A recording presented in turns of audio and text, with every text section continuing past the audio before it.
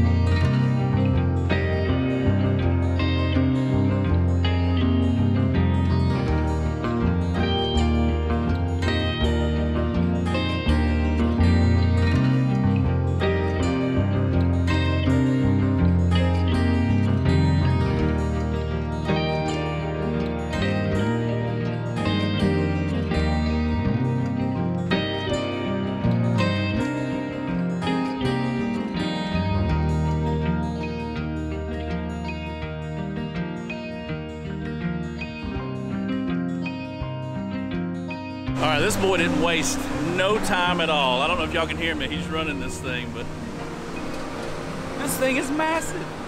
He's already got up like two or three stumps. Look at this behind me. It is huge. He's ripping these stumps out of the ground like they're toothpicks stuck in the sand. It blows my mind how much you can get done with a piece of equipment like this. Hopefully we'll have a pond out here before long. The good news is, if you can hear me right now, the good news is He's found clay just about everywhere he's dug so far. Uh, there are little spots of chert here and there, but I think we're gonna have enough clay when we're done to completely line the bottom of this pond. So maybe we won't have to ship any bentonite or anything like that in. We can just dig the pond, seal it with the clay that we have here, and I can start working on putting a dock in and a boat ramp and stuff like that. You know, I mean, I say a boat ramp. I'm gonna put a little ramp in here so we can get the kayaks in and out. I think it's gonna be cool. But I, am gonna let him do his do his thing. He looks like he knows what he's doing too. He's making light work of this.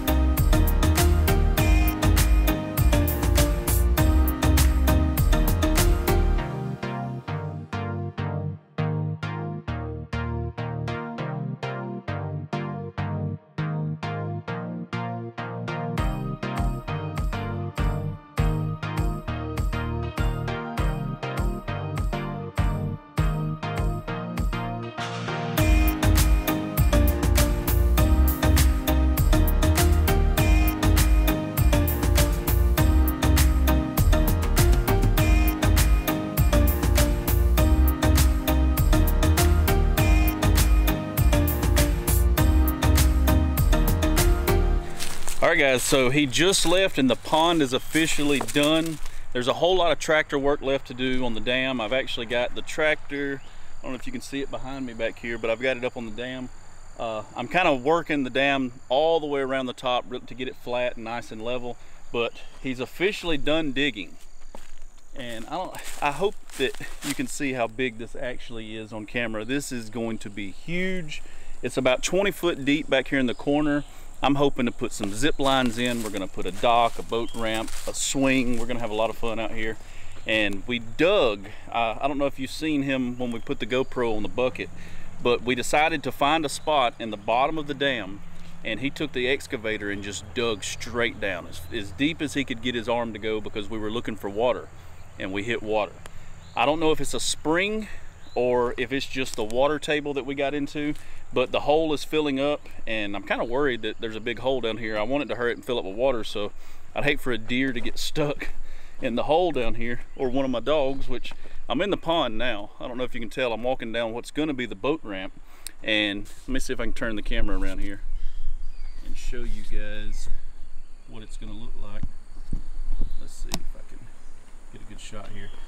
The lighting is not helping but so we're in the pond and I'm about, I don't know, 10 foot deep at the bottom of the boat ramp.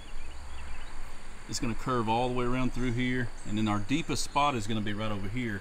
Besides the hole that we dug, uh, uh, y'all back up. I don't want one of my dogs to fall down in there. Jesse, back up. But look at this hole, guys. and there's the, the spring water at the bottom. It's slowly filling up right now. It's about a foot deep and it's, it's took about two hours to get a foot deep. So I'm not confident that this is gonna actually fill up itself, you know, and it's not going to fill the pond up because it's just a really slow seepage. I mean, when it was really low, you could see the stream going down, but it's filling up. And this hole, so I'm standing in the bottom of the bed. I'm, I'm actually on the water at the bottom of the pond. I'm on the, the, the bed of the pond, I guess you'd say. And this hole is another, I think it was 19 foot deep from the base of the bottom. So this hole is gonna be, I mean, we're another 15 foot deep right here. So that is gonna be a deep hole in the bottom of the pond. Uh, we were gonna fill it back in, but I figured he hit water. We're just gonna leave it open. So when the pond does fill up, I'm gonna have a super deep hole right here in the middle of it. So I don't know. Now I'm just gonna do a lot of praying for rain and hopefully not in the next couple of days because I, I got to get the tractor in here and we're gonna get a box blade and just kind of make the boat ramp as solid as we can. This is clay so it packs really tight. I think it'll hold water really well. We just got to get some rain in. If it doesn't fill up with rainwater, my next option is I'm gonna have a well dug and just put a pump back here on the well and just have it constantly feed, you know, maybe solar panel, something like that to pump the water into the pond and fill the pond up. But I'm hoping by the end of this summer, I've got a pond back here in the backyard and not just a humongous hole. But it's huge and it's officially done. We just got a lot of tractor work and box blade work to get everything leveled out and looking good. Hope you guys enjoyed this video. I know it's a little bit different than what I usually upload, but I really wanted to record having the pond put in and the prog the progress of the pond. So I will be updating you guys in the future as the water rises and if I've got to put in a well and stuff like that I'll, I'll make sure to put it on the channel here for you guys. So if you like this video make sure you give it a thumbs up. If you're new hit the subscribe button and I'll catch you guys next week Thursday at 2 o'clock. Peace